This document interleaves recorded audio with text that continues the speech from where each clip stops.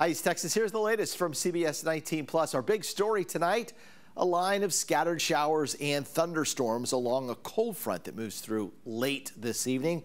A couple of these thunderstorms could have some brief wind gusts, especially as they approach Carthage and Center late tonight maybe towards the overnight hours. And in southern Angelina County, southern Trinity County, perhaps a stronger thunderstorm in the overnight hours. Behind that, the winds turn to the north and it cools down tomorrow back into the mid 80s for daytime highs. We'll wake up to some cool air Thursday morning with temperatures back into the 50s in that nice northeast breeze. So after midnight, the sky is clearing in Mount Pleasant. We're going to go starlit and 57 at Pittsburg.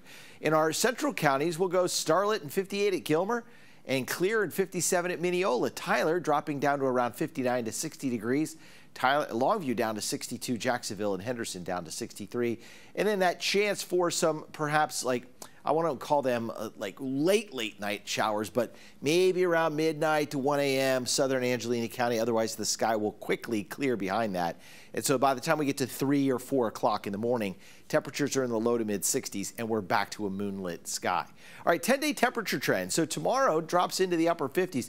It's a little cooler here Friday morning, but we're going to see quite the dramatic turnaround Friday with warm air moving in. We could likely see some ground fog, kind of like we did Wednesday morning. Saturday's warmer, 64 in the morning, 66 Sunday morning, and then it starts to turn colder. There's a cold front dropping in and it will be somewhat cooler Monday. In fact, there's not much of a temperature spread Monday. We could be at 61 Monday morning and only up to 68 Monday afternoon.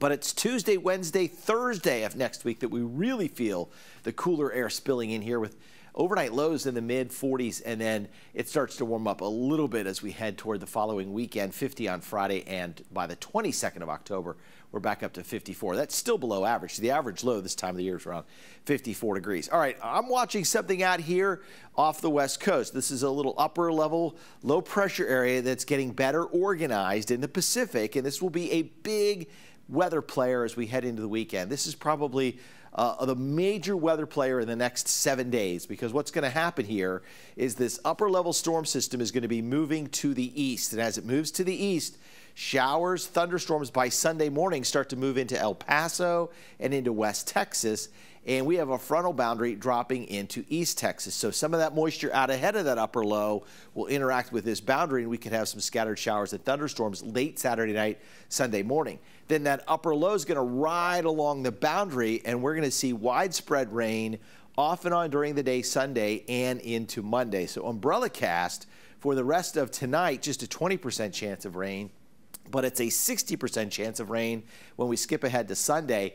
And Monday, likely about a 40 to 50% chance of rain, especially in the first half of the day. Rainfall totals, and this is some updated information that we got here in the last 24 hours, we're now looking at in the next seven days, and all of this is really confined to Sunday and Monday, three quarters of an inch to an inch and a quarter of rain. And that's a soaking rain. It's not going to dump on down on us on one, like one hour. This is going to be over several hours soaking cool rains, just great for farm ponds and lawns and anything that just needs a nice drink of water. We're going to get that uh, this weekend into early next week. Let's go back to tomorrow. We've got northeasterly winds. Temperatures are going to be in the 80s, and we've got some drier air coming in here. We'll have sustained winds at about 7 to 10 miles an hour, gusting at times 12 to 16 miles an hour. Behind the front tonight, the humidity drops again into that pleasant to comfortable range. That's good for us. It's not necessarily good when it comes to fire danger. We will notice the humidity ramping up here, especially Saturday into Sunday. We have the frontal boundary that we're dealing with, and then the drier air starts to move in by late in the day. Monday, we're back to pleasant air on Tuesday. So the forecast fire danger for Thursday is moderate to high to very high again. Remember, we have north winds, drier air coming in, and we don't see a lot of rain tonight, and so that sets us up for that dry soil on Thursday to quickly become a, the possibility of seeing some fires. All right, forecast hour by hour for Thursday. We're in the low 70s uh, at 10 a.m. We're to around 80 by noon. Northeast winds continue by 2 o'clock up to 83. We're into the mid 80s by 3, 4 o'clock. High temperature tomorrow should be about 85 to 86. In fact, here is a look at those high temperatures around the area. It'll be a little cooler, closer to Interstate 30, around 83 at Mount Pleasant, 83 also at Sulphur Springs and Pittsburg. In our in our central counties along Interstate 20, Longview up to 86, Tyler up to 86, Mineola 84, Canton up to 84. A little warmer over uh, just south of there, say Jacksonville around 86, Palestine up to 88, Henderson up to 87 and Carthage up to 85, and then maybe still 90 in Deep East Texas. The front, again, loses some steam as it pushes into Deep East Texas tonight, even though it does bring a few thunderstorms. But the highs will be in the upper 80s to around 90 degrees. We're back to sunshine Thursday afternoon. So all in all, not a bad day. All right, here's the Baylor Scott and White Texas Spine Joint Hospital 10-day forecast. So tomorrow, breezy with sunshine. The thunderstorms will end early, 86. Warmer, breezy Friday, 89. And then Saturday, 91, 20% chance of rain by the end of the day. Periods of rain on Sunday, 79. Morning low still mild, 66 degrees. Then once we get to Monday, it's rainy at times and it's cooler as highs fall into the upper 60s. We really feel the cool air here Tuesday morning as we drop to 49. 68 Tuesday afternoon, it's mostly sunny and cool. 67 on Wednesday, sunny cooler. 77 on Thursday, just a nice day. Friday, sunny and great high temperature around 80. And then another storm system moves in on Saturday with a high temperature right around 80 degrees and some morning showers. All right, something else to talk about the Skywarn Spotter training session. We are in that time of the year when we start to talk about fall severe weather. We do have a secondary severe weather season, and we're just about there as things have been pretty quiet here recently.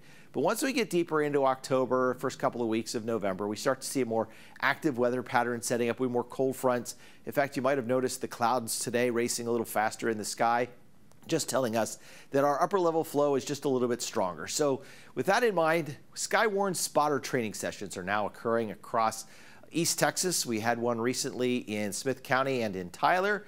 And now the next one around East Texas is occurring Tuesday, October 18th from 6 until 8 p.m. And that's going to be in Nacogdoches County. That's at the courthouse, Annex 203 West Main Street. That's a free class for those interested in severe weather and safety. All right, let's wrap it up here with a look back at that 10-day forecast. Again, just recapping, sunny 86 tomorrow, breezy on Friday 89, then 91 on Saturday. So it's a hot day Saturday, but we're looking at Sunday with some periods of sunshine and, uh, or I should say periods of rain and a high temperature into the upper 70s. And then cooler on sun Monday, rainy at times, 68 degrees, 68 on Tuesday, mainly, mostly sunny and cool, 67 Wednesday with sunshine, overnight lows falling back into the mid and upper 40s Tuesday and Wednesday.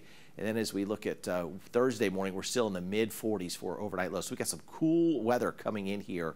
And this is the first in a series of a couple of cold fronts that'll move in. And then we're warming back up by a week from Friday, 80 degrees. By Saturday, some morning showers warmer and a high temperature right around 80 degrees. All right, so get ready for some cooler weather. It eventually gets here, but we do have a warm spell in the next few days before it arrives. Thanks for watching CBS 19 Plus.